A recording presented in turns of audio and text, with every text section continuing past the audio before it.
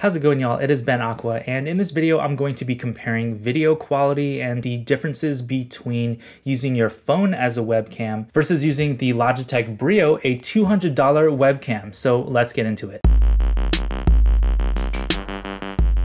What you're seeing right now is video from Reincubate Camo on my iPhone 11 Pro using my iPhone as a webcam. And long story short, the video quality to me looks so much better using my phone. So one of the big benefits of using your iPhone as a camera is, of course, you get the amazing crispy quality of the iPhone. And one of the benefits of using Camo is the app that you're seeing right now comes with these controls. So we have some like autofocus and manual focus controls. You can change the different lenses. Like now we're seeing an ultra wide view. We can also do like telephoto so you can get a really nice close up if you want. Mirroring your video, not mirroring your video.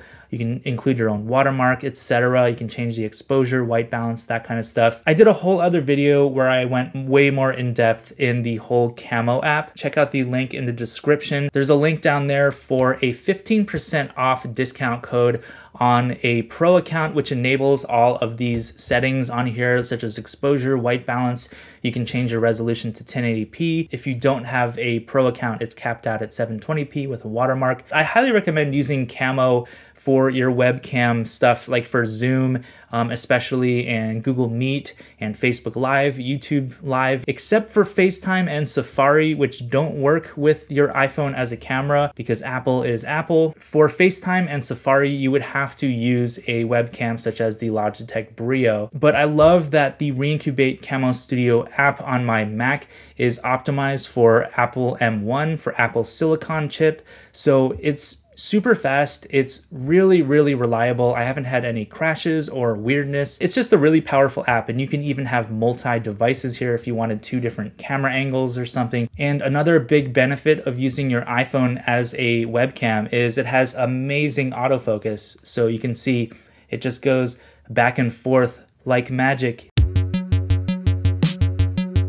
And now we're on the Logitech Brio webcam. To me, the iPhone looks so much better and the autofocus is so much better. So if I do the same thing with my hand here, you can see that it's still pretty blurry and stuff. Is it ever gonna focus? And you try to do something like this, it's kind of, no, it, See, it focuses, there we go. Now it's focused. So it's capable of doing that kind of focus, but you can see that it takes a little while to get back to my face. And to me, this image does not look as crisp and as spicy as the 11 Pro. This image also looks softer to me. It seems like the Brio also makes me look like a giant baby. Like it gets rid of all the details and creases and stuff in my face and some people may like that. Some people may want kind of more the artificial intelligence beautification kind of stuff. But for me, I like to look a little more kind of accurate to how I actually look. But for $200, like if you don't have a nice smartphone or something to use as a camera, this will definitely do the trick. And this is considered one of the more higher end webcams out there.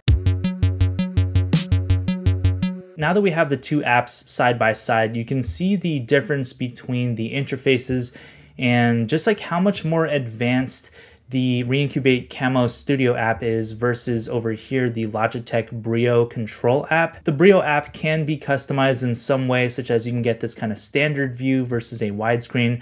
I keep it on widescreen because it looks a little more crispy.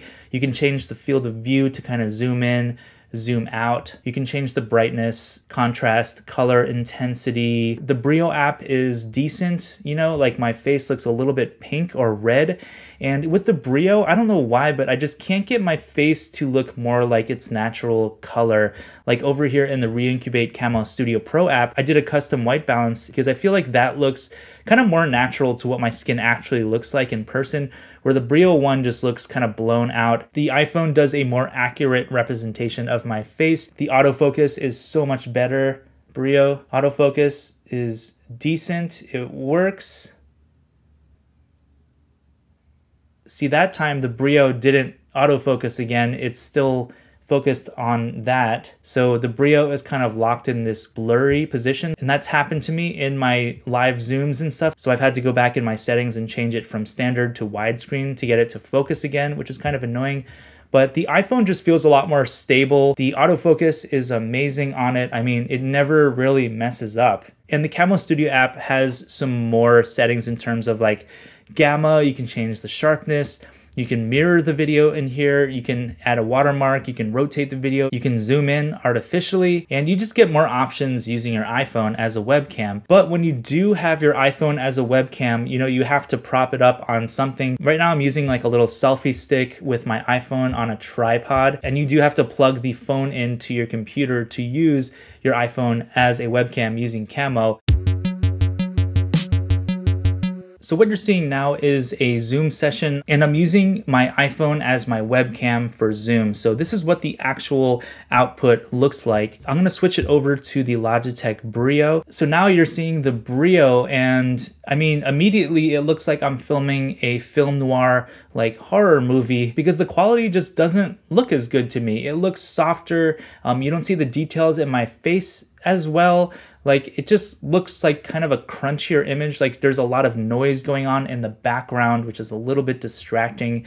And when you compare it to the iPhone using Reincubate Camo, I mean, to me, this looks so much better. It looks more natural. It looks less like I have some kind of baby face going on. And I just think the iPhone looks so much better than the Brio which immediately to me looks like a webcam. It's not like a deal breaker for a lot of people, but once you switch back over to the iPhone as a webcam, like this looks so much better to me. There's no comparison. I've had a lot of people be like, what are you using for your camera? Because that looks so good. So now you're seeing a Google Meet meeting. This is a live meeting and I'm using the iPhone as my camera. So if I go into settings and I change my video to the Brio, now you'll see that this is the quality from the Brio. So I mean, again, immediately the Brio looks so much more like a horror movie. It looks more webcammy. It looks kind of choppy to me.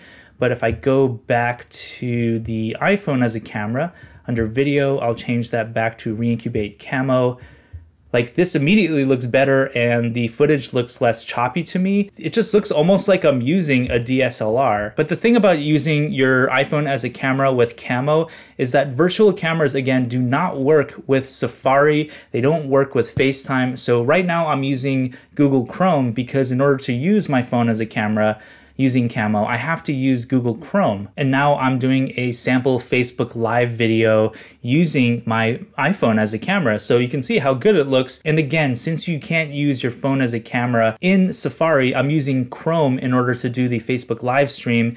And you would do the same thing if you're doing like a YouTube live stream or a Twitch stream or whatever. You would have to use the Chrome browser in order to access your phone as a camera. But the video looks so much better to me on the iPhone iPhone 11 Pro using camo. To me, there's no comparison, and that's why I personally use camo over the Brio. And you already have a phone, so all you have to do is just get this app and then you can use your phone as a webcam and not have to buy an extra webcam. So if you do want to try out Camo on your iPhone and Mac, check out the link in the description. That'll get you 15% off. It's so much cheaper than getting a webcam that's not going to give you as good quality. And I like with Camo that if you upgrade your phone, you can use Camo also with your new phone as long as your device runs iOS 12 and above. I also love that Camo is optimized for Apple Silicon, so it has a seamlessness with my Mac Mini M1. Anyway, I hope this video was helpful for you. If it was, please smash and caress that like button. Thank you to everybody that's been subscribing to my channel.